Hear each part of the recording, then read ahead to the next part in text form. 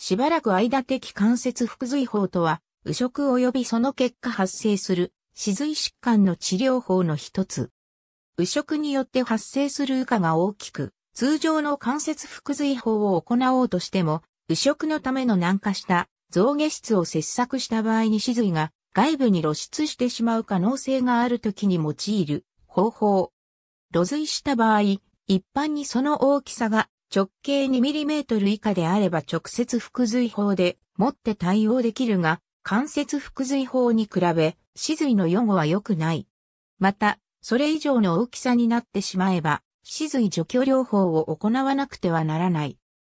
これを避けるため、まず、軟化増下質を一部残したまま死髄の切削を一旦やめ、水酸化カルシウム契約剤を腹髄剤として用い、3ヶ月程度を置いておくことで、水酸化カルシウムの刺激により、死髄内の増下目細胞に刺激を与え、死髄口内の第二増下質の生成を流すことで、軟化増下質と死髄の間に健全な増下質を確保し、その後軟化増下質を除去する。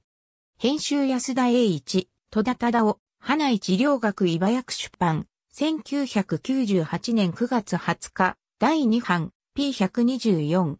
ISBN 4から2634541189。ありがとうございます。